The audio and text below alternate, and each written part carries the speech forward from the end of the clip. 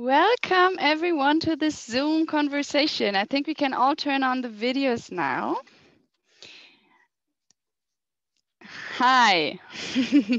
Hi again. So welcome everyone to this Zoom conversation, which is called Loud and Proud, Queer Feminist Activism in Kenya, Uganda, South Africa, and Nigeria. This conversation takes place as part of a series of events under the name Regain Space, The Future is Now, in which the Africa division of Heinrich Böll Foundation wants to celebrate courageous activists from different contexts who fight for democratic spaces, rights, and freedom. My name is Claudia Simons. I am Senior Program Manager at the Africa Division of Heinrich Böll Foundation. For those of you who do not know the foundation, it's the Green Political Foundation based in Germany with offices in more than 30 countries and partner projects in more than 100 countries. And we work in the field of democracy, ecology, and very importantly, feminism. I have the honor today to be in conversation with four amazing people and we have a range of participants from the queer feminist spectrum. But before we start, I just want to give you some logistical hints and remarks so that all of this is going um, smoothly. So we will start this conversation among the panelists and open up for comments and questions by the public later. We will do this through the Q&A section in the Zoom menu that you probably find below, depending on your device. So it's called Q&A. It's not the chat, it's something different. So for the those people who joined us uh, just now, please write your comments and questions in there. Please remember also to put your name and possibly a description of yourself, you know, what you do, where you're coming from, um, where you're at before you write your question so we know who's speaking. Please be uh, reminded that this Zoom is recorded and it's going to be made public afterwards. So um, depending on whether you want, uh, you know, like afterwards people see the name as well, you can also choose to not do that. Um, but for us, it would be helpful if you know who's speaking. Um, so also if your question is directed towards someone specific, please indicate so. If you have any technical questions or anything that's not directly directed to the panel, you can also post these. And I have a team of two people who are trying to, you know, like be at your assistance um, with regard to those. Um, so our technical host, Philip, who you cannot see at the moment, and also my colleague Nicola are there for you to um, answer those questions.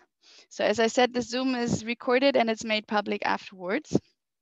So you will also have the chance to, you know, like look at it again afterwards, but also to share it um, with all those people who could not join us today. So let's come to our four powerful panelists. I am very, very honored to have all of you here. We've been in contact in digital and analogous, analog, analogous ways. It's like it's it's a word that doesn't exist anymore anyways. So some of you also have met amongst each other some haven't and i'm very very happy that we have the space today for this conversation. So thank you all for being here with us today. I will start introducing one after the other but also right directly ask questions to the panelists. So bear with us, um, you know, uh, in the first in the first uh, minutes. So let's start with Yvonne Oduor or Ivy. You live in Nairobi. You are a gender non-conforming feminist who uses their background as a trained journalist to advocate for human rights of gender and sexual minorities in Africa. And I would say, and beyond, definitely beyond. You are currently the operations manager at the Gay and Lesbian Coalition of Kenya, and you are involved in advocacy programs, but also in research on sexual orientation, gender identity, and expression that focus on lesbian, bisexual, queer women, and gender non-conforming persons and organizations at national, regional, and international levels. You have worked and volunteered with a number of LGBTIQ plus led organizations for about nine or 10 years. And together with two other amazing humans, you founded Because Women, written with an X, that's important, a healing justice initiative for lesbians, bisexual and queer women and gender non-conforming people in Kenya. You are also an alumna of the CREA Gender and Sexuality Rights Training and an Outright International United Nations Fellow. I hope I got all of this right. yes. Iman. So, what is queer feminism for you, and how does that manifest in the political and social context of your work and life in Kenya and beyond? Thank you so much, Claudia, for introducing me so well. I was like, oh, who's that? I know. But, thank you. Yeah, so queer feminism. Queer feminism to me is a feminism that uh, radically challenges patriarchy while centering queer people and queerness. By, uh, by that, I mean a feminism that um, uh, challenges notions of homophobia, biphobia, transphobia uh, within the feminist movement. We challenge imperialism. We are a sex positive uh, feminism. We are a feminism that uh, is body positive and um, raises awareness around uh, people who live with disability.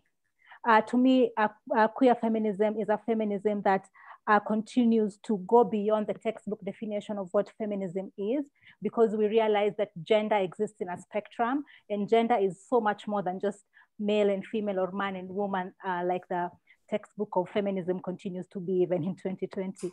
So for me is a feminism that continues to radically challenge patriarchy um, through an intersection lens and uh, realizing that this is the way that we actually stand a chance at dismantling uh, patriarchy and uh, realizing liberation for all people.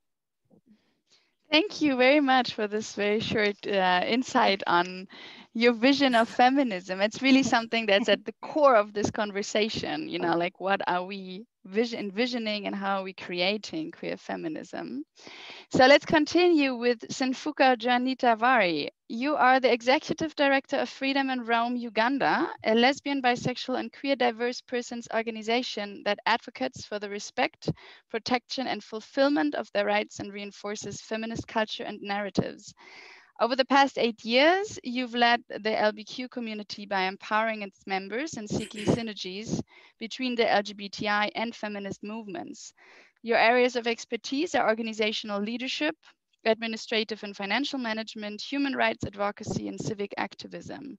You hold a certificate in non-governmental organizations and civic activism from the Institute of International Education in the US, and you also earned a diploma in telecommunications engineering at the Uganda Institute of Information and Communication Technology. I know that you have a long career of very different expertises behind you and probably also in front of you. So tell us what queer feminism is for you and how does it play out in your political and social context that you work and live in in Uganda? Thank you so much. Uh, uh, like you said, you you've said uh, you've described me well, and I just have a short definition of uh, what queer feminism means in the work that I do and how I understand queer feminism. I will not differ so much from uh, what my colleague uh, has um, sub submitted, but uh, I believe queer feminism is uh, feminism that um, dismantle patriarchy regardless of uh, of uh, sexual orientation, gender identity, and uh, feminism, queer feminism is inclusive of all women. And um, that's what that's that's how it manifests in the work that we do, and uh, how we how we we are involved in the general uh, general feminist movement. So we, we believe in um, no discrimination regardless of gender identity and sexual orientation, and we bring that to table with other feminist movement, uh, generally within the feminist movement. That's how short I, um, I will define queer feminism. Thank you. Thank you. We will also have the time, of course, to dive deeper into that during the conversation. So let's go on with Seoketsi Moketsi, better known under her preferred name Seo Power, also better fitting. you are a Southern African. Go away. yes, revolutionary woman You are a Southern African powerful pro Black activist and intersectional feminist. You describe yourself as a soft, strong, trailblazing, Black, poor, queer, trans, radical, and intersectional rural feminist. You've participated in what was known the Fees Must Fall student movement and a number of other revolutionary practices in South Africa. You currently work for Nalane for reproductive justice and attempt to finish your photo series whilst registering the Seoketsi Moketsi Foundation when you are not stressing out about both African and the world's white and black supremacist, transphobic, capitalist, monopolistic, imperialist, cis heteronormative patriarchs, you are reading literature and watching duckies, right? Amongst others from Mama Winnie Madikizela, Bessie Head, Audre Lorde, Marsha P. Johnson, Janet Mock, Dr. T, and Toni Morrison while gathering your radical imagination regarding about you planned what you plan to do with the land. SEO power. What do you plan with the land? And where does queer feminism come in there? Yeah. I mean, so greetings to all. Um, I mean, queer feminism for me is fucking shit up queer feminism for me is personal and political. It's understanding that feminism is not a construct, it's not a concept. For me, I am feminism. For me, feminism started with my grandmother waking up at 4 a.m. to make sure that everything, the household was running smoothly and still went on to flourish, you know, and still made sure that I went on to primary school looking as beautiful as ever and still being able to push a wheelbarrow from 4 a.m. until 6 a.m., but still I don't know how my grandmother did it, but she was the epitome of feminism. She embodied feminism for me. Hence, for, for me, feminism is not about a group of persons or a group of women that feels that their feminism is more important. Feminism is a way of life. It's a way of living. It's a way of how African people have always navigated space. It's how we've always, you know, lived amongst ourselves. Feminism is not a construct that came with westernization, with white, you know, privileged, classist, radical, elite white women, but that we are feminism. I actually believe that feminism was actually stolen from us, the same way everything was stolen from us, from banks, from, you know, minerals, from everything, even our hair, right? But for me, feminism is something that speaks to the reality of not just Black women, but also Black trans women, and also those bodies that are never ever seldomly mentioned in spaces such as intersex folks, such as trans folks. Because if the feminism is going to only be centralized around queer um, and, and, and, and maybe gay and lesbian identification, that we are then further, you know, like instigating erasure. And we've seen how so many of us we internalize erasure differently, but how we use feminism as a scapegoat, as a custodian of erasure. And so for me, being in this space and trying to reimagine and re-centralize myself away from a space that erases and suffocates me is what is feminism. Feminism is a way of healing. It's understanding that you come as you are. It's God, it's mother, it's daughter, it's sisters, it's us, that I am feminism, I am life, and that's just about it. And Thank you so much. Seo power. so last but absolutely not least, we come to OluTimehin Adegbeye, who lives in Lagos, but today joins us from Washington, D.C. So it's it's morning where you are at the moment. It is. Thanks for yeah. joining us. You're Thank a Nigerian Yes, you're a Niger Nigerian white writer, speaker, and advocate whose work exists at the intersection of social justice, human rights, and inclusion. You work as a keynote speaker, you're also known as a keynote speaker, moderator, and facilitator. And you're very much known for your insightful analysis of issues related to feminism and gender and sexualities, but also, for example, urbanism your TED talk at the Global TED Global 2017 on urban inclusion, which is called Who Belongs in a City, was selected by lead curator Chris Anderson as one of the 10 most notable TED Talks in 2017. So I absolutely uh, recommend everyone to watch that. Mm-hmm. You were also awarded the third Gerald Kraak Prize for your essay Mothers and Men and you have been published online by a wide variety of journalistic development and literary platforms in all kinds of languages, and now you work as a staff writer for the correspondent. You're an alumna of the inaugural Writing for Social Justice workshop, um, organized by AWDF in collaboration with FemWrite in Uganda 2014, and the Farafina Trust Creative Writing Workshop in Nigeria in 2015, as well as the BritDoc Queer Impact Producers Lab in the US in 2017. So what is queer feminism for you and how does that play out in the political and social context of your writing and your mm. life and your work in Nigeria, but Nigeria and beyond, I need to mm. stress. I have to agree with Seo Power and say that queer feminism is the framework for liberation, right? Um, because as a cisgender woman, I came to feminism thinking that feminism was about women's rights. And then the more time I spent studying and realizing the interconnectedness of the oppressions that we face in this world, whether those oppressions are the result of imperialism, like Yvonne mentioned, or the result of transphobic monopolistic patriarchy, like. Um, all of these all of these are connected and all of these are linked and yeah. so for us to imagine that feminism is only about women is such a limiting and limited perspective queer feminism provides an expansive framework for understanding how we can access not just rights but freedom in a world that tries to erase us, in a world that tries to destroy us, in a world that tries to delegitimize our existence. Queer feminism allows us to reclaim space that we have been denied, yes, but also to create space that has not existed before or that has been determined to be impossible to create. Within queer feminism, we become magic makers, right? We can do anything because the rules are made by us. We, we take the center and we put it right in the middle of our own lives because we say, you know what? we inherited a system that tried to pretend that we could not exist, but we exist.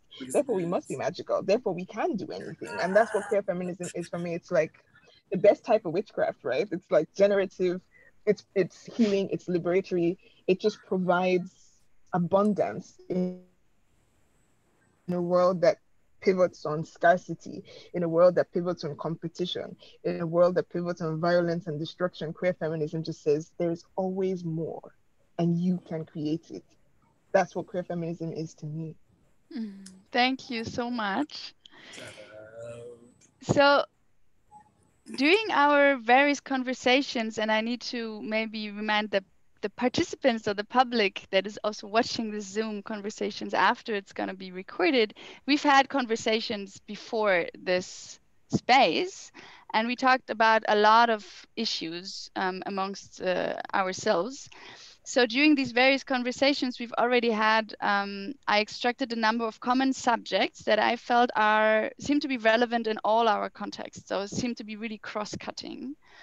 One of these is the fine balance between visibility and survival. I mean, we call this series or we call this season of our Regain series Loud and Proud because all of you are very visible. You're very powerfully outspoken queer people so you're visible you know like in, in in on the street you're visible in social media in your work in your politics. You're really out there with your gender your bodies your politics. And that's despite often very repressive contexts be they social or political or legal. So how do you balance that visibility as activists or writers with your own life and survival? And what are your thoughts on that concerning the question of a larger queer community and maybe you can really add a little bit of context to those people who joined us from um, where your you know like where your work is is located in. So i don't know. Yvonne do you want to start? Uh, yeah sure. Um, this conversation about visibility versus safety has been an ongoing conversation even in the kenyan context when it comes to queer issues and queer organizing and queer feminism in general. And it's a very thin balance between uh, people saying you don't exist and being erased uh, completely, and you taking up space and saying we are here and this is what we're about, and we're imagining a future where we are liberated and we are free. So it's a very like thin balance. And for me to be out and proud and vocal and very visible, even in my poverty and in my Africanness and in all of this, I still have some privileges that allow me to do that. I still have protections. I still have a bit of uh, uh, a bit of a class privilege that ensures that my life is not constantly threatened. That does not mean that I, I safely exist in Nairobi and live in this utopian queer paradise. But what it means is that compared to other people, I at times am able to uh, acquire a safety and I'm able to be in spaces where um, my the threat to my existence is not uh, is not very like it's not like a very daily, a very hourly, a very continuous thing for me. And that is why I feel like that is why I step up. That is why I do what I do. That is why I I am able to walk in the streets the way I am because I know I have a home where I can go and lock the door and be safe. And that's not the reality for many people. So when I talk to younger queers, for example, I'm, I'm just like, just because you see other people do it does not mean uh, it's for everyone. And even the shaming of people who are not able to be out and proud and vocal about the work that they do or um, their identities is something that as a, as a movement, we are starting to unlearn and we're starting to unpack all of these things around what what does it really mean to be visible and is it necessary for for every every queer person to be out and proud and, and, and to do the work you get. So yeah, that is where we're at uh, as a movement. That is where I am as a person and as an activist when it comes to visibility and and taking up space as a queer feminist. Oh my goodness, can I just jump on that really? I also, right, I'll be after you. yes. Yeah. I love you so much. because I feel like we have taken this script and it makes sense because so much of our blueprint for queer organizing on the continent comes from the West and specifically the US and specifically yes. Stonewall yeah. and you know the gays of Greenwich Village and Christopher Street. And mm. it makes sense for us to imagine that because they achieved certain levels of freedom in that way that we must also adopt these models. But the thing is, they achieved freedom in the way that worked for them. Yes. It is, to my mind, serving the same purpose of the system that is trying to kill us if we, mm. we demand that every queer person be out and be visible and be immediately recognizable as queer if what it means is that it will cost them their lives if queer people are going to end up dead because they're visible, hmm. then why are we demanding that they be visible? Hmm. How are we different from the straights who want to kill them? Hmm. Mm. Our lives matter more than our than the ability of straight people to see us for who we are. Our lives are bigger than straight people being able to yeah. comprehend us. We don't exist to be legible to people who believe that we don't even exist. You know, it's like, no, yeah. we exist to be alive. We exist to yeah. prosper. We exist to thrive. We exist to find flourish. love and find healing and find wholeness and flourish. And so, if visibility is the way that you access that, then great. But if there are other means for you to access that, then girl, I am living for it. Let me tell you real quick. Um, I just discovered a, a framework that exists in Nigeria. Um, we call it the Oyinbo Wives Co- Coalition. And it's a whole bunch of, of queer women who marry expatriates who come to Nigeria to work in the oil industry, knowing that their husbands will be away most of the time, knowing that their husbands are not that invested in the marriage to begin with. And then they take that money that their husbands give them and they make sure they use it to fund their lifestyle with their girlfriends. And I'm just like, I am here for that. I'm here for that. I'm moving to Lagos. look at that. Look at that. You, you found love. You have economic safety. You have a home. Yeah. You have your kids. Yeah. And your girlfriend yeah. lives in your house with you. Girl, yes. Leadership. Fuck coming out. you understand? who, who cares if you come out or not? You have a whole life. And I know that there are limitations to this. And I know that obviously people are grappling with all the ways that they can survive and nothing mm. is perfect. But the thing is, people have so many ways of surviving. Why do we insist on visibility as the only one? Because we don't mm. talk about how visibility is made possible or made easier when you also have mobility. Yes. I was listening to Yvonne and thinking about how she talks about access that she has to these spaces. And for so many people, being Mhm. queer means being denied Yeah. the option of moving through the world. But if you're a queer person who has the option of moving through the world, who has the option of networks outside of the repressive context in which you live, then you have possibilities that are available to you that may not be available to other people. I'm able to be out and proud and loud and whatever because last last if look at me, I was telling you guys earlier that look, I'm trying to get out of Nigeria. And I have that option, but not every so why would I sit here and be self-righteous and be like, oh yeah, you have to come out because if you don't come out, you are the one that is holding the gays back. You are It's less not activist or less queer. Yeah. can we not? Mm. Mhm. Just- I, I really want to jump onto that, like just to allude both of you guys' points, which are incredibly important. I also want to touch on selective privilege, right? As to how we know that systematically we are constantly disempowered, that we don't have any form of privilege. But also, I think it's important that we start having conversations as to how do we hold ourselves to account as individuals and as a collective by acknowledging that if you are an activist, you somehow have selective privilege. Yes, I do acknowledge that I don't have privilege of accessing hormones in time. I don't have the privilege of graduating in record time. I know I can't just go to any home affairs and access my identity documentation in record time, right? But I what I also acknowledge is being able to have this conversation right now in real time, post-COVID democratic Southern Africa, whilst I know someone in Bokone Bophirima, which is the northwest colonially known as Northwest Province, won't have this privilege of watching this. You know, I I I, I honestly wish that this space would be so encapsulating of people that are generally they that are generally need needing to be in this space because we know that people in the rural don't have the privilege of Wi-Fi.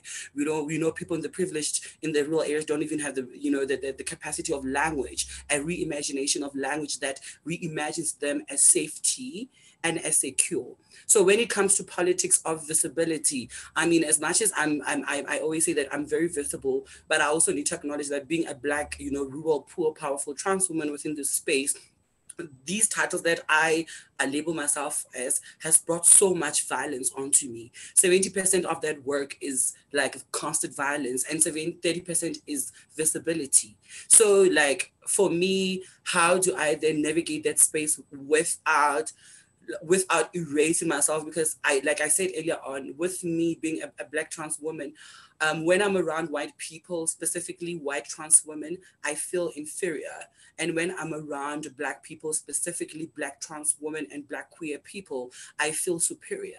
So then when do I exist? When do I, you know, when do I draw the line? Or when, or maybe when do I not know when to draw the line in this regard?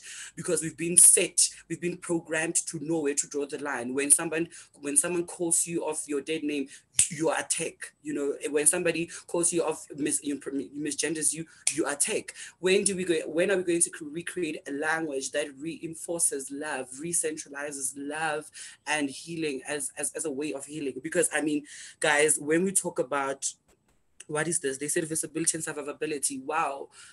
I'm constantly being reminded that I live on borrowed time is something that is always like reminding me that I don't have the privilege of doing this every day.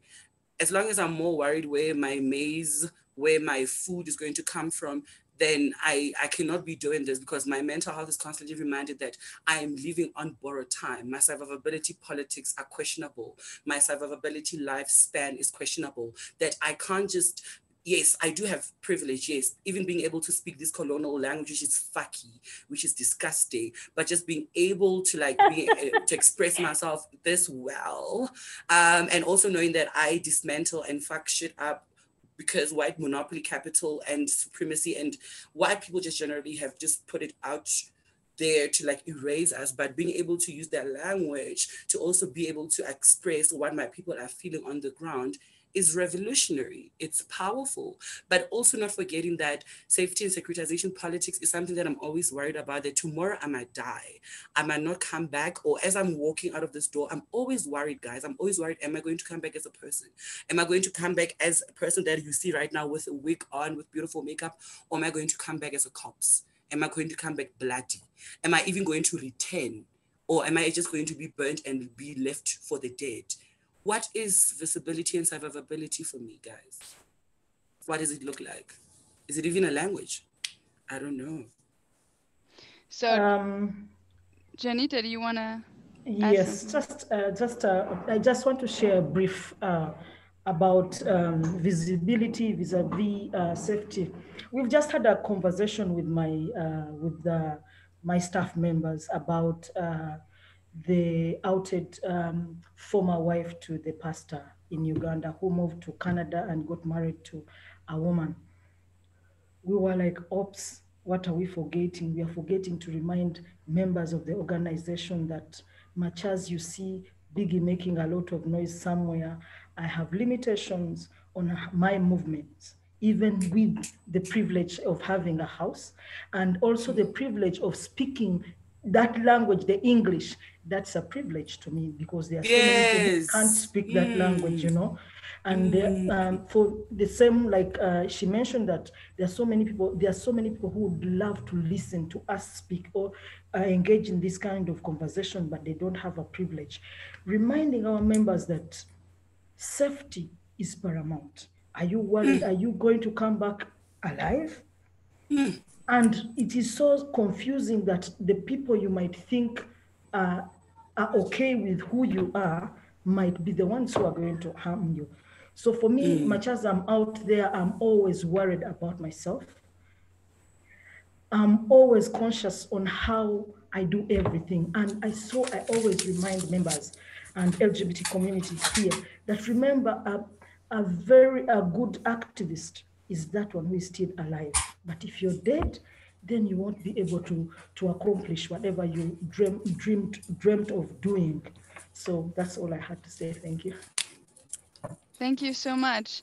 Thank you so much. Yeah, it really feels like uh, when we talk about queer activism, mostly, you know, like in this north-south divide, in the sense of like, you know, like what type of organizations are visible, what type of organizations will get in, make it into the media, make it on panels, whatever. It's it's there. There seems to be this idea of uh, it's just you know like it's activism that just is just self-explaining, but there's people behind who struggle for survival within these movements and then there's this whole bunch of people who are not visible but who are there and who are not just those who you know like others are fighting for but they're having their own fights um, so so another subject that i felt was cross-cutting in all our contexts and spaces um, and it's it's it's pretty much related i guess is this question of inclusion exclusion and struggles within queer communities but also with alliances you know like Yeah. talking about uh, activism what what is the image of activism and how does you know like funding come in and and like also in the not only in the north south divide but in general. Um, so we are all fighting you know like capitalist cis heteronormative patriarchal systems but there's fights that are going on amongst communities within communities and uh, in the process of alliance building so you've already mentioned some, you know, gender and race privilege plays a role, class and status plays a role, desirability is a big issue, you know, like visibility in the sense of like who is considered queer, who is not considered queer, and how does that play out also in, you know, like lookism. Um, so what are your experiences in this regard and where do you see or do you see ways to overcome those exclusions and build alliances across privileges in order to foster a queer feminist you know activism or movement? Who yeah so do you want to I mean, I think maybe it's also important that we also unpack as to what inclusion and exclusionary um, exclusion culture looks like for us individually, because um, what we know for a fact is that we have a lot of queer, you know, erasure, and then we have trans erasure, and then we just have like generic, like general erasure of black people right? But i think also it's extremely important that we understand how as individuals specifically within the queer community how we internalize erasure and further internalize different kinds of homophobia and transphobia onto various identities within the space right? I mean for me as a black trans woman specifically within the, the perimeters of southern africa i've ex- experienced a lot of erasure from my very own people. People that i've known for a fact that i've taken a bullet for but whilst I know that whilst I've done that, they'll never ever take a bullet for me. So understanding that whenever they see me, they see me as a wholesome meat. They see me very beautiful, very put together. But then they never get to ask me, how do I do it? Instead of asking me, they'd rather just on to further erase me and just and you know like it's so funny how someone would find you i always make this typical example that uh, people will find you as a beautiful drumstick very whole and then they start nibbling on you and then wait and then the next thing you you check at that bone you are just left with no meat but a bone and on top of that, whilst you tell people to stop, people won't stop. They will still continuously chow on you, chew on you. And when you tell them to stop, what do they do? They spit you out on the ground and then they step up onto you. So that is erasure. That is the kind of internalizing, um, internalized transphobia that I'm constantly faced with. That I'm constantly reminded that as I as I speak of black trans women. It's the very same black trans women who are Ivy League, who are in positions of power, um, who would never even have this conversation with someone who's trans ordinary like me. What, uh, what does that mean? What does that, what does that say? And the very same people black cis gay men, black cis women, you know, um, black lesbian women who are constantly telling me that I'm not prone to existence because my body is really not of anything but just a spectacle. So then how then do I navigate that? What does inclusion means whilst inclusion has become my home? I mean, exclusion has become our home. What does inclusion mean? Do we even have inclusion, inclusionary spaces whilst we have not even begun conversations of self-healing, of self-spacing, of self-freedom? What does that even look like? Is that even a context? Is that even a conversation? How do we hold each other to account as first as humans, as individuals before our queerness and how do we hold each other by making sure that we don't further create segregation within the camp but we further understand that by holding each other to uh, account, it's not because we hate each other, but it's because we want to unlearn and relearn new ways of survivability, new ways of loving and healing each other, right? And that's the problem. We just don't want to be held to account because there are certain bodies that feels more feministy, more activisty, and more privileged than the other. Who wants to react on that? Yes, yes to all that. Yes to all that. I think Oh, Yvonne wanted to go. I just I just wanted to add really quickly that um the, the comment that you made about calling one another out is not because we hate each other. Mm. I think that's the thing that gets lost so often um, mm. because so especially in activist spaces because so many of us come to activism because we believe in our own inherent goodness right we Shut believe up. in our own inherent commitment to decency and our own, we're, we're good people so when yes. somebody comes and says eh yeah but you fucked up x y and z thing then it's like what do you mean i'm a good person it's like yes no nobody's talking about whether or not you're a good person we're talking about mm. creating new ways of being no matter how good you are in this world it cannot be good enough for the world that we're making. So how do you close that gap? It's through mm. accountability, it's through transformation. But the work of transformation is so demanding because it's so inward. And not enough of us have the tools or the safety. And I mean safety not in the sense of the world being a threat, but I mean like in interpersonal relations, in community. We don't have that relational safety that allows us to confront ourselves and confront how the indoctrination has not fully left us or, or mm. how our mm. socialization has not fully left us. We mm. need to transform our relationships to one another by thinking about how these paradigms of scarcity and violence and domination shape everything. Everything. Even in activist spaces, you see NGOs that are working for the rights of LGBTQ people fighting for resources because they're still operating within this system of scarcity. So people who have the same agenda allegedly end up turning on one another because they're competing for funding and competing for grants. And then all of a sudden we're replicating these same models, or we create um, organizations that replicate the erasure that we're fighting. So you have people saying things like, well, you know, we only focus on cisgender issues because we can't do trans activism because X, Y, and Z thing. And it's like, so the future that we're moving towards, are we leaving our trans siblings behind? Are we leaving our non-binary siblings behind? Are we trying to incorporate cisgender queerness into the existing system or are we trying to dismantle the system? these are questions that we have to ask ourselves and it's not about whether or not we're good people or whether or not we have mm. good hmm. intentions because if we're saying we want a new world then we have to learn new ways of relating new ways of being in community that do not depend on the things that we have been taught are necessary for our survival we have to imagine bigger and better shout out so revolutionary Yvonne. Yeah, I wanted to add something about, uh, I think it's Seo who, who, mentioned something about working collectively or something um, along those lines. And I wanted to give an example of Kenya. We have this thing about patriotism in, in Kenya, and we all, uh, the politicians are always calling for national unity and cohesion. Yeah.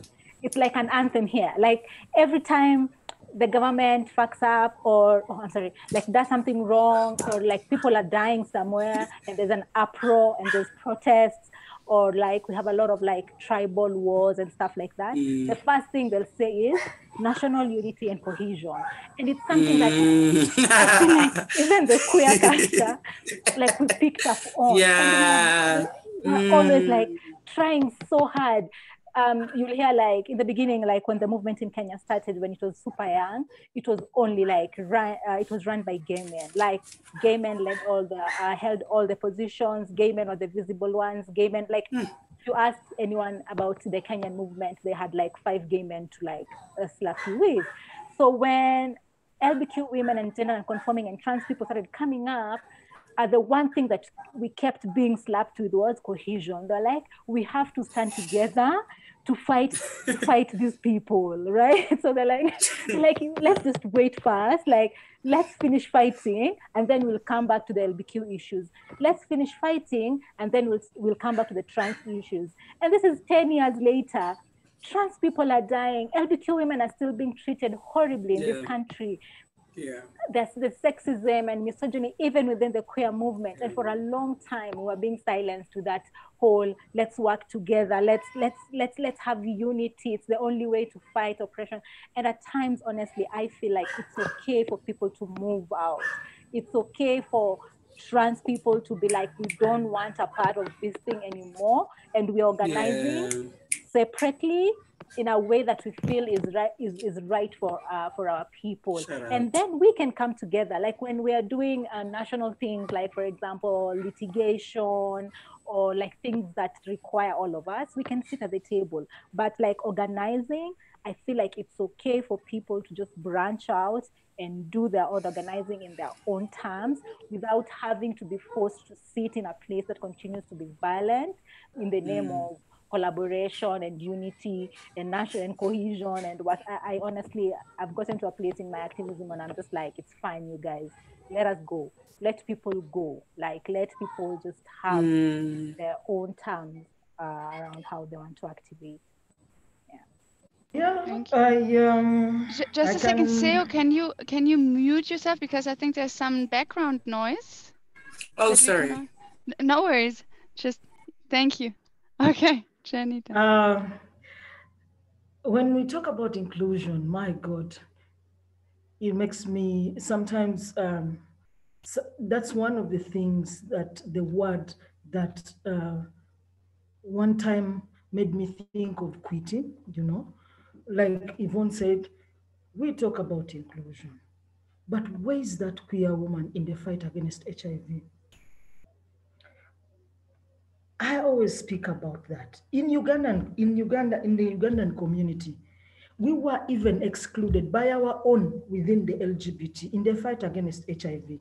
And yet we have lesbians living with HIV. We have bisexuals living with HIV. We have trans uh, men and women living with HIV. But there was exclusion of uh, LBQs but there was inclusion of only trans men, trans women, but not trans men. We have fought, we have fought this battle to be part of the HIV fight until, yes, we are included with reservations, but at least we are there and we have our members um, given information. We have our members in spaces. We remind, we continue to remind our communities that especially LBQ women, that we are there who are living with HIV. Stop excluding us in the national HIV national program. They have been calling us a lot of, um, there are a lot of statements coming around. I'm sorry, electricity has just disappeared from my office, but I will still, I, I can still, you can still uh, hear what I'm saying and I can run for the entire period of time. So for me, exclusion, even within the women's space, it was until uh, the, the, the, the resilient Kashas refused to leave uh, women feminist forum spaces and attended and women, so many women disappeared from this space because of this uh, person, this, this uh, lesbian in space. But after years, it paid. And so we are always included in some way or another. But I've seen a lot of inclusion and I will concur with you, um, uh, um, Ivy, for people moving away. If you feel this space is toxic or is not is not catering for your issues or not looking at your issues, you can organize. Like for us in Uganda, we have LBQ women organizing. Uh, trans men who feel comfortable being part of a, a, a feminist organization, a women's rights uh, feminist organization will stay in that space. And trans men who feel it's un, it's not the space they want to be in, organize. It's very good. Uh, trans women organize also. Uh, gay men organize. Men who have sex with men organize.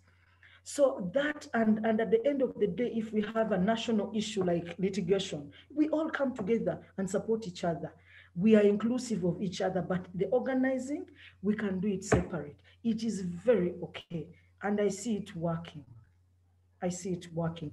But also, uh, there are spaces that we have to push to include uh, our sisters. For example, in the feminist uh, spaces, um, so many have a challenge with the inclusion of trans women. And that mm. will take us to speak about that, to include trans women. And for me, there's a time I, I, I chopped a wire seriously when, when everyone was quiet, the LGBT acronym. Everyone was present, but everyone was quiet when the project that was introduced had no lesbians, in, inclusion of lesbians. So I just chopped away and reminded them, you speak for me, I will speak for you. You know, that is that is kind of uh, uh, it, it worked, but that is the exclusion, inclusion, you know, it's I don't know, but I, I, I believe each each each acronym can organize separate and then we can work together as an entire community. Maybe that's a, it's a good point to talk about um, your individual and uh, you know within your community's ways of actually mobilizing and working because we've heard a lot that you know like maybe we need different spaces spaces where people come can come back to where they feel safe in the sense of also like within a community then spaces where we can come together uh, across you know like you know different genders across different privileges uh, to organize. So maybe you can just give us some ideas about like the ways you work. Uh, i know that some of you consider themselves activists uh, in a very you know like uh, uh, um, in a very powerful sense. Others of you would rather say, I'm a writer. My work is, you know, like the, the, the I'm, I'm mobilizing across, like, you know, like uh, uh, through my writing. So can you maybe say something about that, each of you, to give us a little bit of the idea of like, how do you organize? How do you mobilize? And, and uh, you know, like, how does that also uh, how is that referred to the context in which you are acting and, and working and living? OluTimehin, do you want to start? Wow. Um, so for me, it's the question of organizing has been very difficult.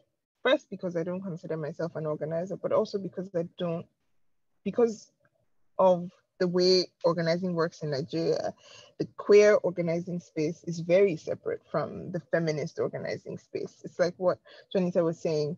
Um, so the separate organizing works, but then the question of coming together never happens, right? Because there is within the feminist community the idea that queer issues are either it's one of three things they're divisive, they're irrelevant, or queer people don't even exist, right? It's like, yeah, yeah, like, so the, the question of, it's like, okay, yeah, we can come together, but first it's divisive. So wait, let's, let's address this, our own, and then we'll come to you later.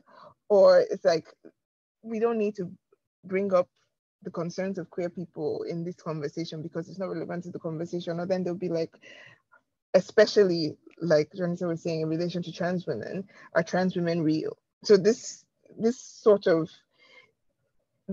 the separateness never lends itself towards any collaborative organizing. And so being somebody who does not separate my queer organizing from my feminist organizing, it means that there is no space for me to actually exist within either movement because rightfully queer organizers are like, you know what, the feminists don't care about us, we're going to focus on our issues. So it's very much focused on public health concerns or state violence. So it's either the queer rights organizations are addressing HIV or they're addressing extortion and police brutality.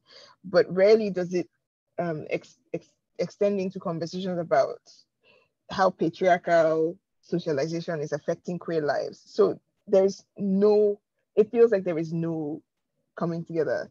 And that's why, that's a big part of why I've, I've sort of step back from the idea of being an organizer and I just write. And I'm like, you know what? I feel like these ideas need to be seeded in the first place. And so I have taken that as my responsibility to see these ideas and to defend these ideas and to flesh out these ideas and to normalize them because I understand that with the visibility and the reach and the platform that I have, I also have credibility, which means that there are things that I can say that might change someone's mind or shift someone's perspective. And there are things that I can resist or reject that will do the same work. And so that is the thing that I have taken as my responsibility. I have seen that there is not enough space in Nigeria for queer feminist thoughts to flourish. And so I do the work through my writing of trying to expand, to create and expand that space um, and that so i don't i don't think of myself as an activist because that's not the work that i feel is necessary for me to do and it wouldn't be rewarding work for me to attempt to do in nigeria anyway because well we have a long way to go first we have to create that space and so that's what i try to do with my writing yeah. mm-hmm. Maybe I can share with how we organize in Uganda. Um, which is a bit uh, different because um, for us, we organize uh, closely with the fem feminist space and uh, um, women's rights organization.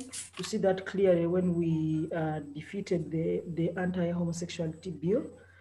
Um, it was because of the support from the um, from the, uh, the, the women's spaces. We managed to get documents, things that we used during that period of time, lobbying and reaching to people through those feminists. Even when we are fight, when we are when we are speaking SR HR as in like um, abortion rights, uh, we work closely. They involve even the LBQ women because um, you're a woman before you're, you're, you're lesbian. And for us, we work closely with the women's, um, women's uh, rights organizations. They are supportive in so many ways, and we've seen um, of late there's a lot of inclusion of trans women in uh, women's rights spaces. Even in the spaces where we talk about abortion, trans women are inclusive. Um, yeah, in Uganda, uh, we work closely with the feminist organizations. And it's working for us because sometimes we don't need to speak. They need to speak for us. And then, uh, or they provide platform for us to speak to uh, the hard to reach or the people in authorities. Yeah. Um, I'll jump in and just like uh, talk a bit about the Kenyan perspective. And uh, I feel like here, um, the the feminist movement, like the I think it's a generational gap completely. Like the older feminists, like the people who came before us, went to Beijing, and and and that crop of feminists, like were completely immersed in like the women's rights and women uh, women's uh, the gender con- women's liberation rights movement completely. And i feel like the feminists or the queer feminist um, radical a part of them must have died.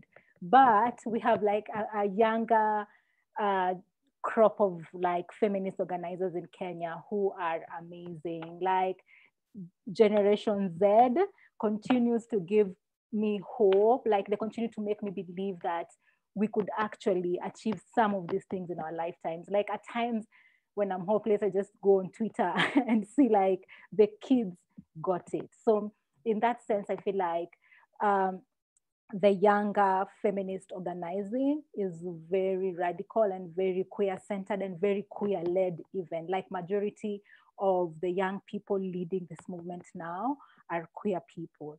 But the way we organize, um, we've managed to collaborate with a lot of mainstream organization. And I put mainstream in air quotes because who decides who is mainstream and who is not? But like people who get more funding and are more visible and are working on issues that the UN like. So we've we've uh, blackmailed, we have bullied them, we have like we've used every type of intervention intervention necessary to make them realize that uh, queer or LGBTQ plus rights are human rights. So right now, I can say for a fact that we have a good number of civil society organizations in Kenya that are mainstream that focus on the liberation of queer people. Of course, this comes with like baggage of heteronormativity, of trying to erase you, of trying to like just uh, rubber stamp and having to tokenize queerness. But we've, we've made leaps, we've made steps where they come to court with us. Uh, they are part of the, um, uh, the people who submit uh, recommendations to the, to the judge. They provided evidence and documentation. They speak on our behalf at times when we can't although they say like we tell them what to say we write the statement like read here. But but like we've seen a shift. There's been a shift from like five years ago to now you can come to a, an lgbtq plus meeting and find like mainstream organization being present and being active and doing at least their part.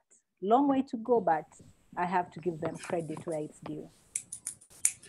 I mean just to allude to your point, for me, I have just, you know, divorced myself completely from a queer organization or queer organizing because, wow, that space is the most violent. And I need to be very honest about my experiences as a Black trans woman.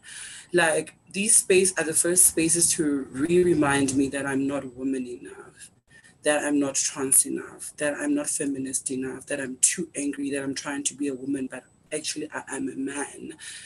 So then why would I be, you know, inserting myself in spaces that have deemed me as a man, that have deemed me as, you know, um, as, as a scavenger, as, some, as something that is not allowed to be in the space, as I've been denounced an object not as a person or not as a human being or not as anything, but as, a, as an object. So then I think also that is an entire conversation as to why people choose to stay away, you know, when, when, when shit hits the fan.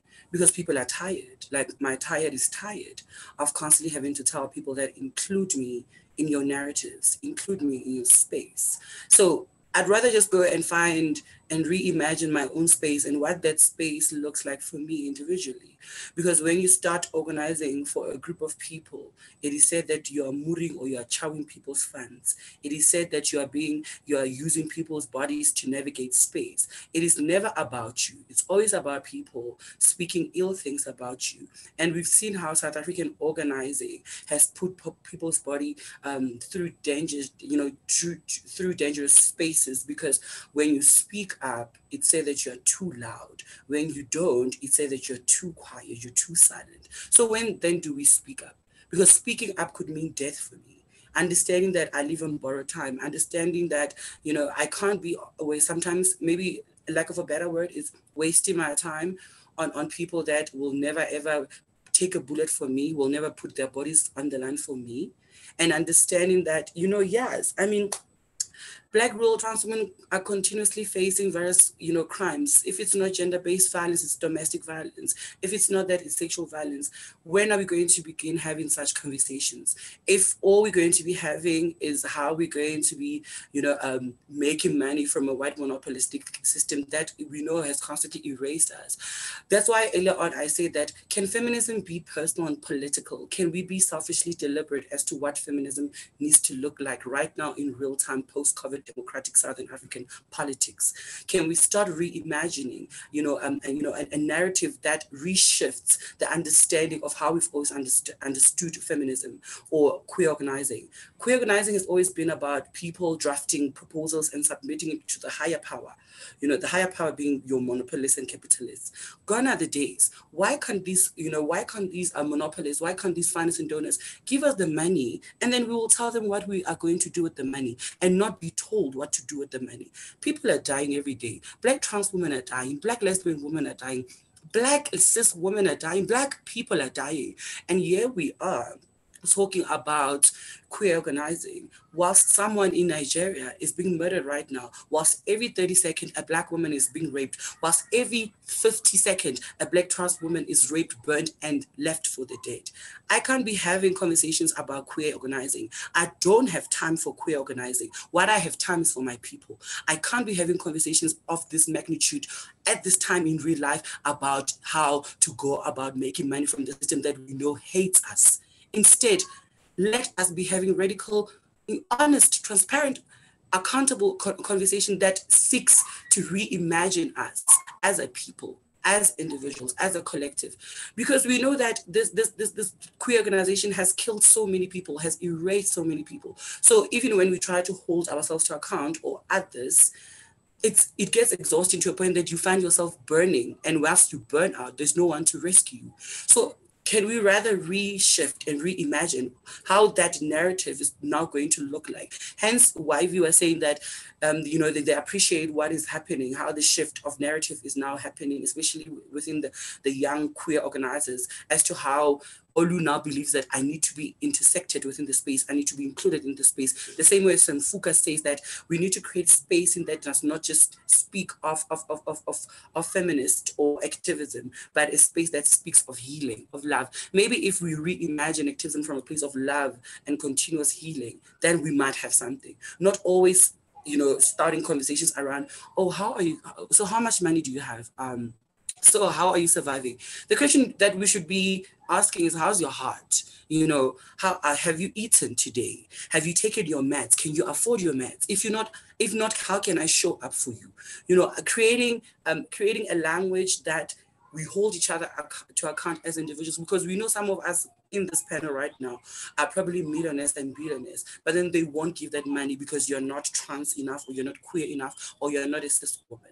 So how do we then hold those funders and donors to account? How do we make sure that queer women go to school and complete that education in record time? How do we make sure that Black trans women as continuously, um, um, uh, you know, graduate and do not have to drop out, do not have to be, you know, victims of HIV and AIDS and cancer? We have not even begun conversations around how cancer is killing Black trans women. We have not even begun conversation as to how HIV continuously kills Black women when are we going to have this conversation when every one in nine rape case when it's reported only 7% of that case gets to be prosecuted. And we do know that when prosecution comes into place it's not trans women's cases that are being prosecuted. It's cis women's cases that are being prosecuted. So then how then do i go to a police station and report my case without being misgendered without being clocked without being remembered, reminded that i'm a man and being asked that what were you wearing that day? Can we start having conversations of accountability? I don't want to be having conversations of queer organizing because I right now as I'm speaking, I only have nine rand 80 cent in my bank account. Is that me not dying? I live on borrowed time. I might die, meaning that I might die without a cent. I cannot perpetuate the same narrative that Black women have always been known as. You know, the likes of Abu Brenda Fassie, who have worked enormously hard, immensely hard, but they died with focus. They died with nothing. I cannot be having this conversation and stress it enough as to how, you know, the system needs to employ Black trans women. The system needs to employ Black queer women. The system needs to employ Black queer people. Heteronormative, heteronormativity is killing us every day What's happening in Nigeria is heteronormativeness. What's happening in Congo, it's heteronormativeness. What's happening in South Africa right now, it's heteronormativeness. What's happening in Nairobi, it's heteronormativeness. What's happening in Uganda, it's heteronormativeness. So understanding then how do we then go about dismantling these systems? I'm not here if you're not here for me. I'm here for my people. And my people are dying every day. Right now as we speak, someone is being killed because they don't have the capacity, they don't have the privilege, they don't have the resources. So I think maybe questions needs to be re-strategized or me, maybe re, me reconfigured as to how then do we now start reimagining a language that encapsulates of love as, as, as a point of departure. Yeah. Does any one of you want to react to that directly? Ivan or what do you mean? Joanita? Okay. Wow.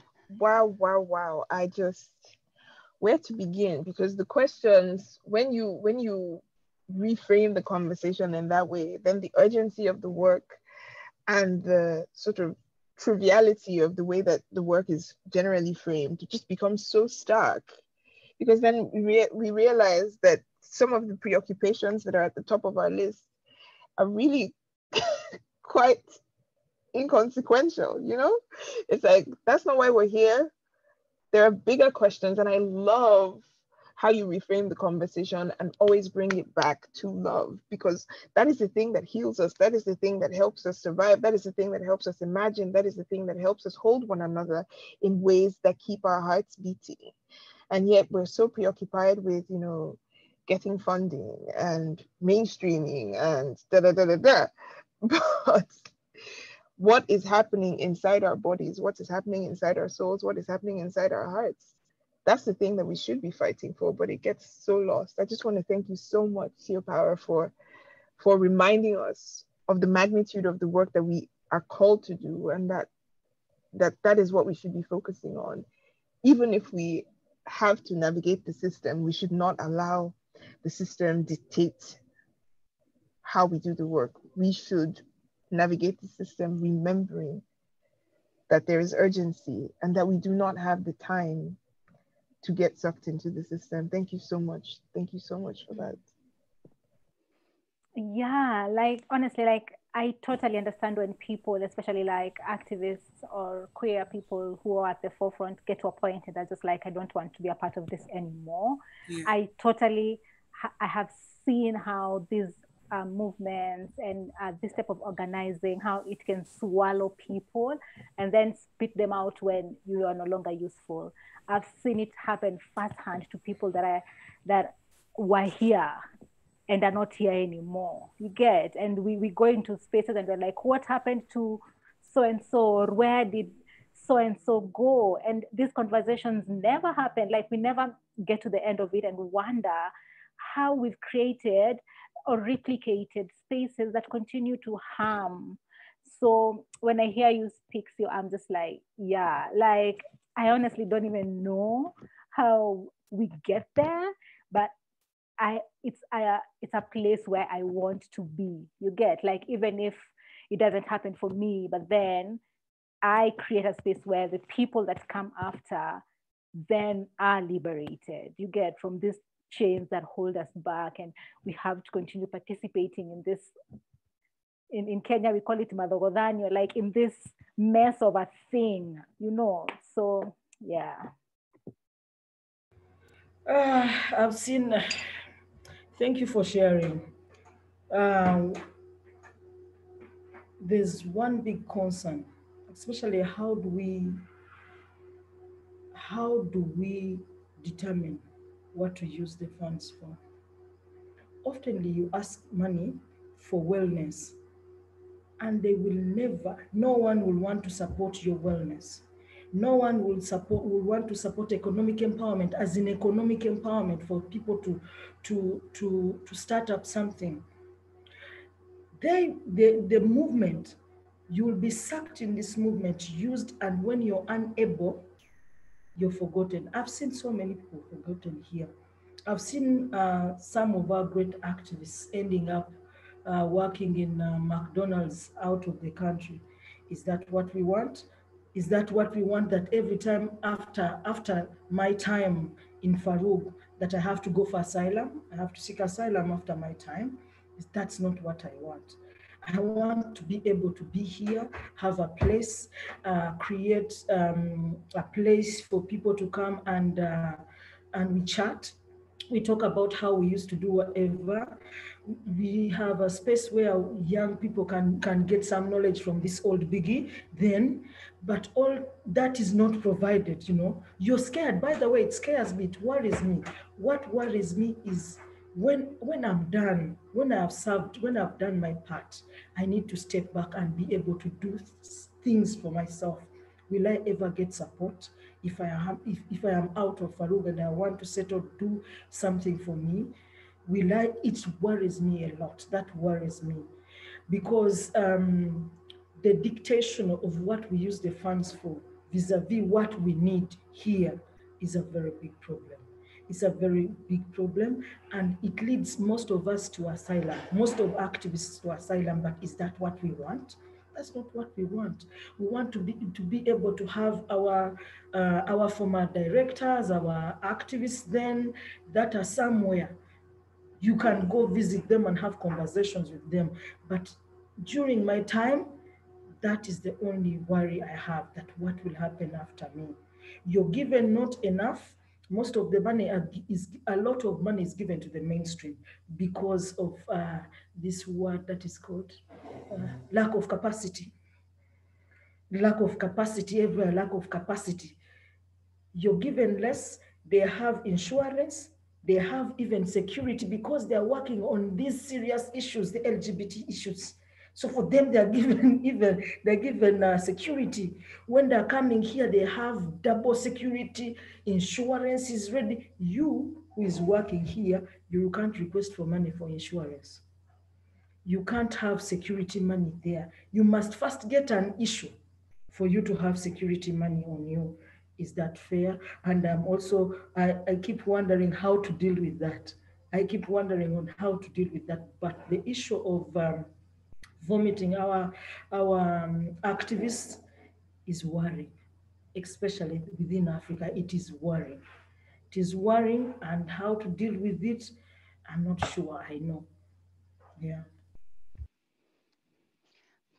Thank you so much. That also reminds me of uh, an issue that was coming up in all our conversations. And I remember OluTimehin when we met in Cape Town to this uh, global LBQ uh, women's conference back then in 2018, right?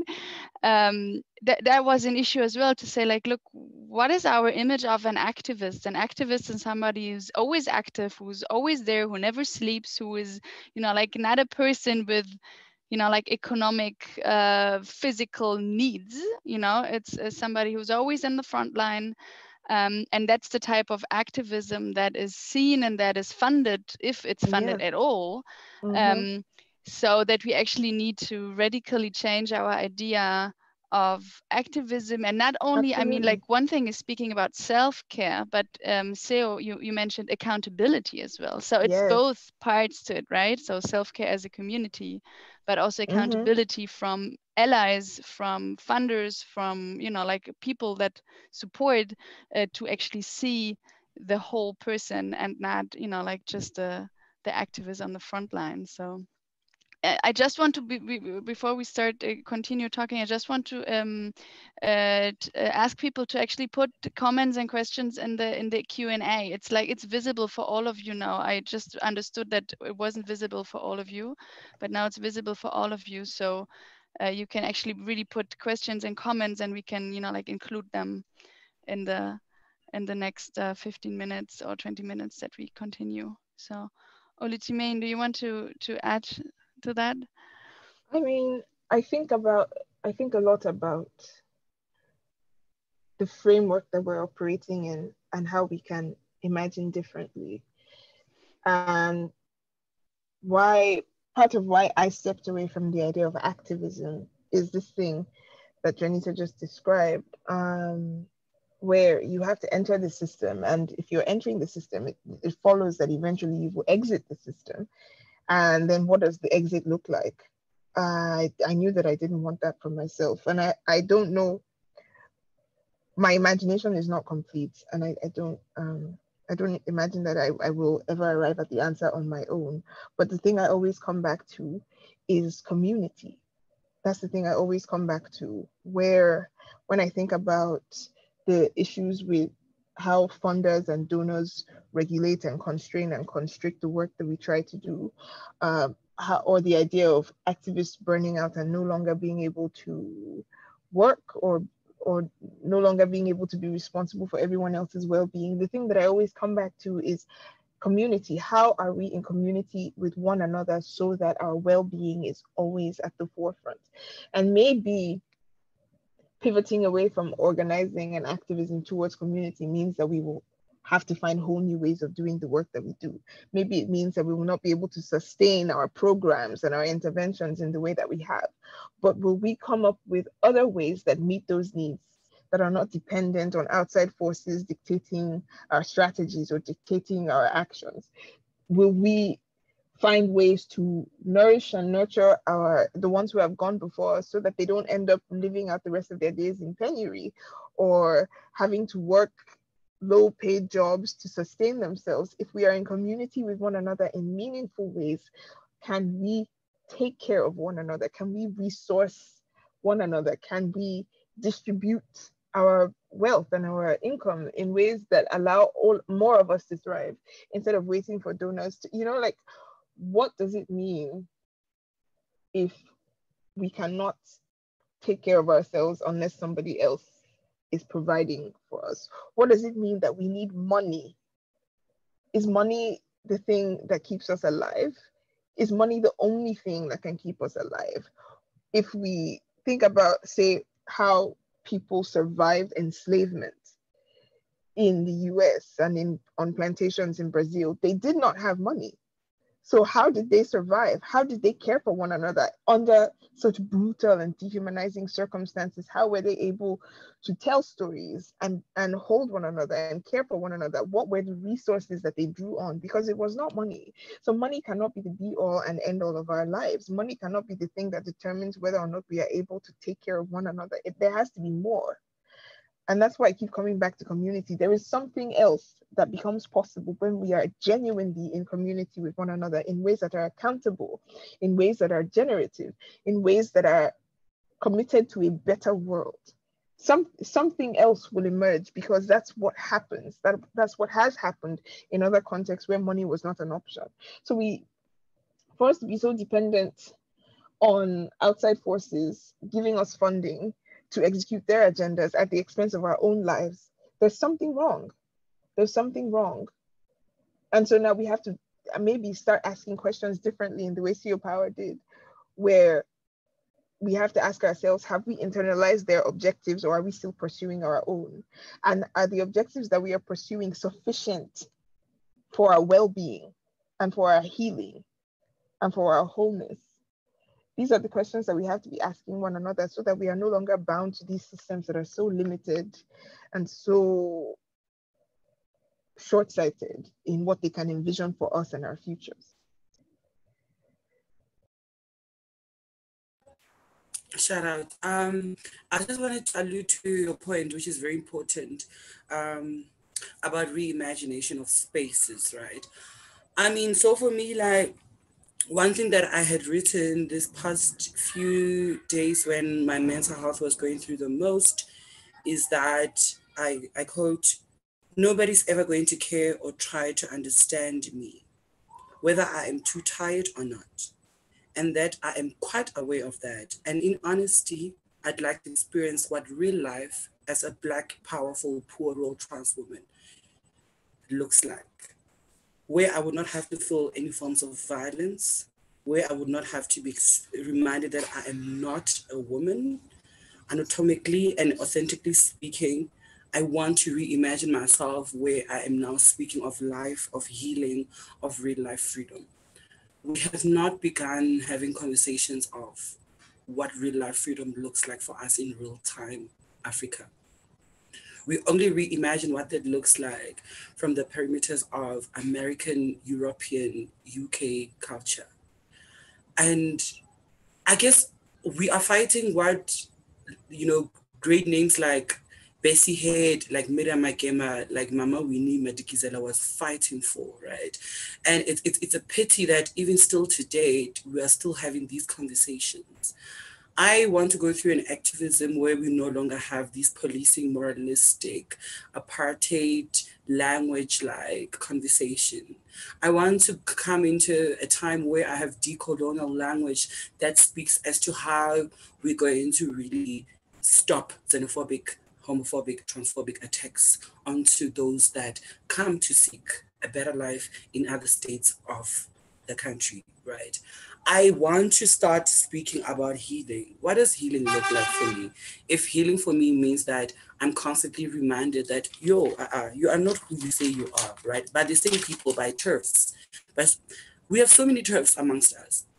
So many women believe that I'm not supposed to be in this conversation. So many women believe that I'm not supposed to be even uttering anything right now. But I feel like it's a shame because you know, so many of us are committers of crime. We are just sinners, generally speaking. But someone will be so concerned about my gender identity that they forget that yesterday they were sleeping with someone's man or someone's woman. Forgetting that that sin does not make them any different because clearly I'm a sinner, right? So, but anyway, I'm a cute sinner. um, so understanding understanding that, you know, being and identifying within the realms of womanhood and transness is dangerous, that it comes at a cost. That as a Black trans woman, as a Black woman in Africa, I continuously experience inequality and this resulting in violence, different kinds of violence. I've been raped. I'm a rape survivor. I've been physically violated in 2017. I went to court, my case was thrown out of court because then the docket went missing. When I further went on to inquire what happened to my case, it was then made to look like I was the perpetrator and not the victim anymore. So that this has somehow impacted my mental health. So, like understanding then how do I heal whilst and how do I begin speaking about systematic language whilst we have not spoken about personal language of healing, of mental health, right? And I think it's important that we start having these conversations by ensuring that when we're going to speak about gender equality or gender equity, we hold those those are uh, we hold the perpetrators that are constantly, you know, like pairing us against each other. White monopoly heteronormativity is pairing black people um, against each other. Hence, people don't realize that we are dying one by one. Hence, we are constantly misunderstood. Hence, they're creating so much misunderstanding, so much injustices amongst us because white monopoly capital knows that once African people start having a conversation of love and life and what that looks like in real time, then we will not need them anymore. We will not need to be having conversations of a coalition, a westernized language that seeks to police and erase us. We would begin a reimagination, a language that reimagination, a, re, a language that reimagines us in the diaspora in the utopia, right? Because I mean, I really need to start be having conversations with my Nigerian folk and ask them, what is happening, guys? You know, how much do you need? Why can't funders like trust us with their billions, our billions? Let me just say, our billions. I'm just here for the content, guys. So, like, when are we going to be giving back our reparation? It's called reparation justice. Why are we continuously mimicking and not calling a spade a spade? Are we not activists? You see, this is why sometimes being an activist pisses me off because we mimic whiteness, we gaze into whiteness. We don't dismantle and disrupt whiteness. And those that dismantle and disrupt whiteness are then set to be put on the fence because then they are not African enough, or they're not woman enough, or they're not activist enough. But when is our activism going to become authentic? When will our activism ever become authentic in a way that I'm able to hold a white person? I'm able to hold Claudia to account to say that, Claudia, please bring back my money. You know, when am I going to have that conversation? Why must I be terrified of having such a transparent conversation with someone that is said to be my ally, right? Why must I be terrified of having a language and a, a past? Like, why am I why am I not allowed to have a language that has been has been passed on to me? Because I'm very aware that my ancestors wanted to have white people, but they could not be they could not have them because they do not have Zoom. So here I am right now in post-COVID democratic Southern Africa, holding whiteness to account. I don't want my child, I don't want another black trans child to be having this conversation with Claudia in the coming 20 years. Instead, I want Claudia's, Claudia's sibling or Claudia to be to give that sibling 20 million and say, do whatever you seek to do with that money. And that should not be questioned. Whatever I, I, I, I seek to do with that money should be according to my own terms and condition. I am dying every day. I am reminded that every day is a struggle of the fittest. I am reminded that I don't have money for hormones. I'm reminded that every every day I could die, and I don't even understand how many parts of me have died for me to even make it to this conversation, for me to even be here.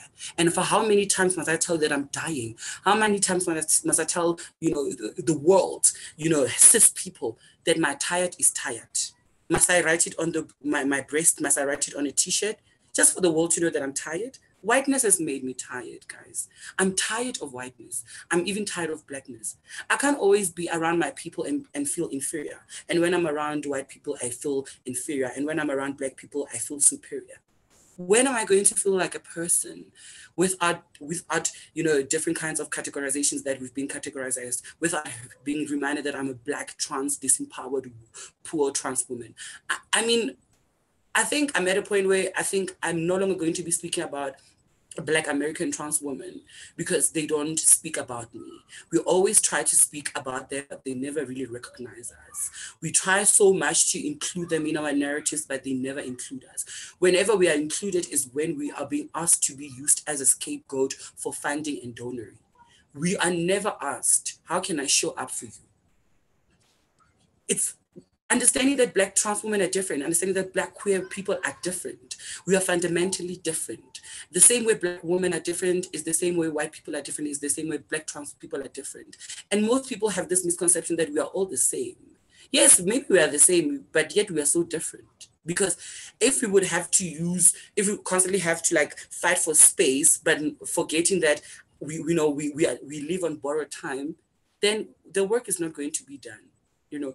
And I think this is why the likes of Nina Simone did this work, you know, timelessly, but even further went on to harm themselves along the way because they really believed, they really believed in the Black freedom and not Black liberation, because liberation still holds you to a certain, you know, it still polices you because it's not, it's not free. You're not free. You're just liberated. We want, we need to start having a conversation of freedom we have not even begun healing. We've not even begun having self conversations with thyself. What is self forgiveness? What is self healing? What is self love for me as a Black trans woman? So then, when are we going to be having this conversation? Employ people, employ employ Black queer people, employ Black trans women, give them jobs. Um, we can't be doing this, guys. Um, we can't be doing this. I am really tired. Like my mental health, like I told you two days ago, it was just two days ago when I found out that my partner of two years passed on, but they passed on in July. But had I had the money, had I had the capacity, had I had the Wi-Fi, had I was not in a rural area, I would have probably found out that day when he passed on. But because people don't want to understand these disparities, how the system, you know, polices us, even even even as, as individuals before as a collective, how a white monopolistic, capitalistic, heteronormative, transphobic, patriarchal system continues to police us. And hence we can't be having these conversations. I want to start having radical, lifelong conversations. I want to know how am I going to hold Donald Trump to account? But most importantly, how I'm going to hold Jonathan Johnson to account right? I want to be having those conversations as to how am I going to hold Cyril Ramaphosa to account. I can't be speaking about donors that don't care about me. We can't be always using an info gap or information gap or a baseline um, influenced by white people. We can't always be having white people come into our cities, come into our rural spaces, come into our own private spaces, claiming from us and then leaving us to do their dirty work we can't be saving them. We can't be saving ourselves because we cannot even save ourselves because we don't have the resources. So can someone just please understand that this is coming from a place of love? I'm tired. I keep saying my tired is tired, and I cannot stress this any much enough. Tomorrow I could die. Someone right now is dying. I think that we constantly have to remind ourselves why we do the work because if now we have activists and feminists who feels more important than the other because they're cis women and then because I'm a trans woman and that I'm not supposed to be having this conversation with my comrades, what does it mean? What does it mean for someone in this conversation right now in this Zoom panel discussion feels the need to feels the need that I'm not supposed to be here? What does it mean? Then it means that the work is not being done. Are we doing the work? What does the work look like? What does healing look like? And yet we say that we are healing. What is a safe space when we don't feel safe?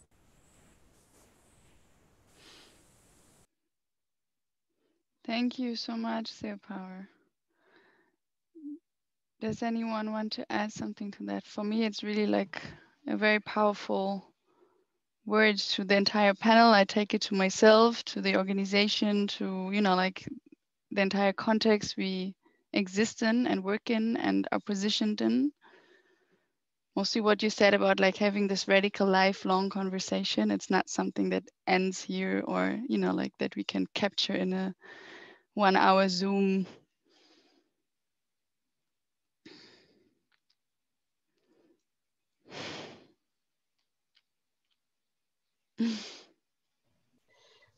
Maybe we should just take questions from the attendees because we have a lot to this this is, there's been a lot to think on. Um, and it would be nice to hear their voices. Yes.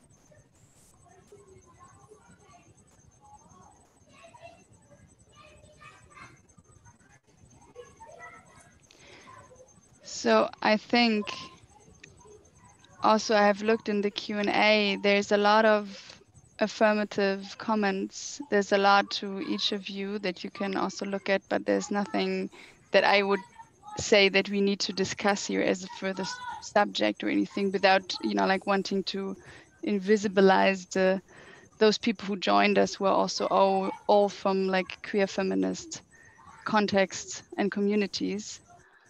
But I would just like leave it at this and um, you know, we can look at those um, and get in contact directly.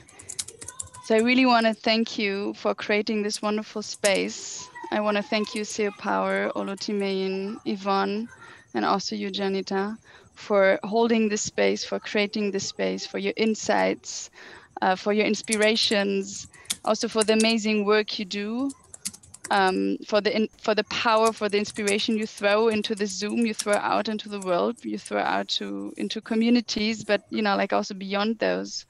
So it is really, really great honor for me to have you all of you here. And I really hope we continue this conversation. As you said, it's a radical lifelong conversation. It's not something that ends here. And I also want to thank, uh, as I said, the invisible public uh, who joined us today, uh, who also contributed with comments in the Q&A section. Um, I also want to thank my invisible team for putting all of this together. Um, and uh, just for all of those who see this Zoom, to remind you, during the next two weeks, this Zoom will be made public uh, on YouTube and our social media channels. So we will have a chance to really share this widely with our communities, with friends, with colleagues, and with everyone who also we think is supposed to see that, not only wants to, but is should see that and should hear that.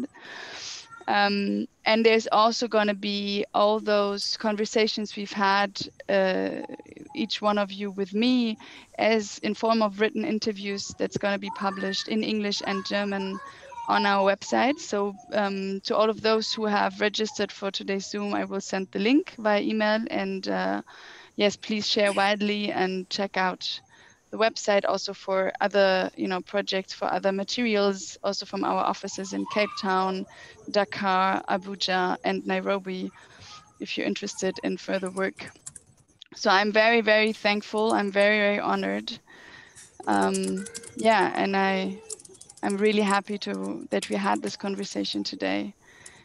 And with this, I want to thank the public as well. Yeah, there's a lot of comments saying thanks, powerful panel. Power to you. Thanks for sharing the truth. So yeah, that's a that's a lot of energy in that as well. Yeah, give thanks. So we're gonna end the recording here. We say bye bye to all those people who just watch it. And we're gonna stay in and end this this discussion amongst us.